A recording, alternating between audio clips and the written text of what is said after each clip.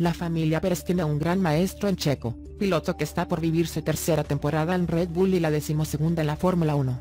Mientras llega el momento de entrar en actividad con el equipo austriaco, Sergio Pérez está en su natal Guadalajara y aprovecha para ir a su cartódromo. Ahí ya se le ha visto correr junto a Chequito, su hijo, y Sebastián su sobrino. Y esta vez un video publicado en redes reveló el momento en que el 11 de Red Bull le da clases al hijo de su hermano y le explica que debe tener más velocidad en la recta. ¿Por qué me estabas tocando? Cuestiona Sebastián a su tío Checo, a lo que el piloto de la máxima categoría le responde, para que vayas más rápido en la recta, es que vas muy lento en la recta, entonces te acelero en la recta para que vayas más rápido.